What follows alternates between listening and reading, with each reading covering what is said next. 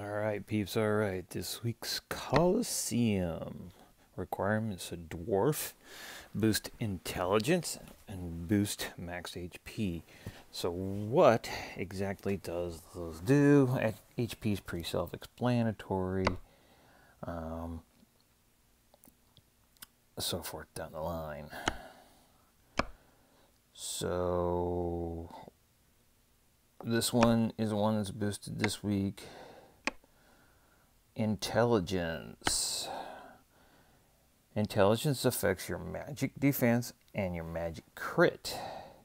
So, magic crit here and magic defense here.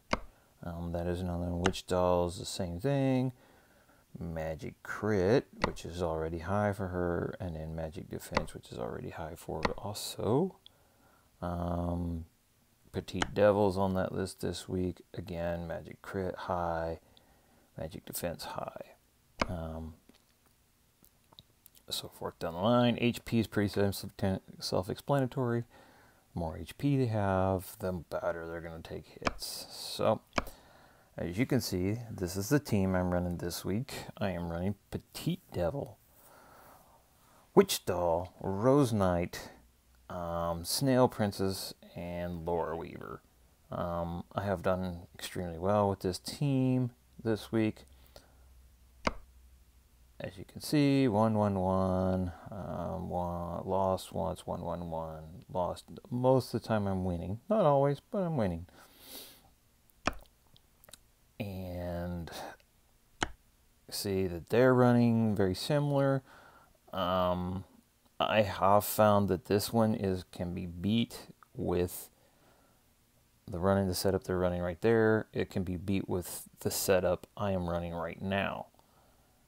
Um, this setup that he's running, you probably will have to take Snail Princess out and put in Grove Guardian.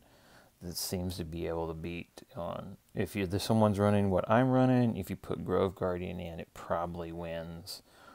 Um, occasionally, I've run into one where I've had to use three assassins two to win, but for the most part, I'm winning by alternating Snail Princess or Grove Guardian in or out. Seems to be the setup. Oops, to do it. Um, free to play.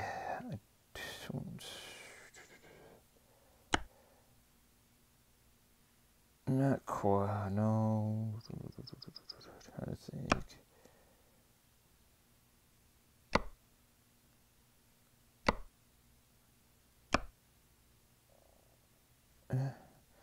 If I were going free to play this week, what would I run?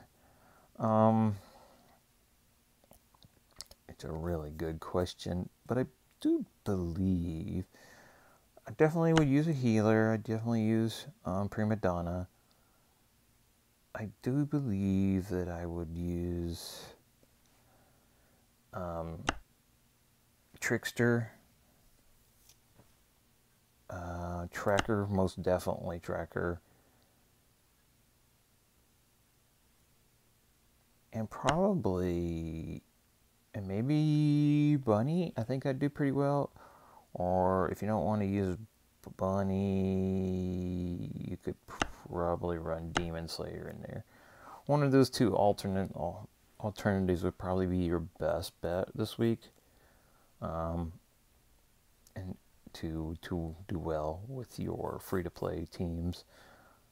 Um, if you're using a free to play team trying to beat those guys, it's going to be tough. Um, try to beat the pay to play ones this week. It's going to be real tough.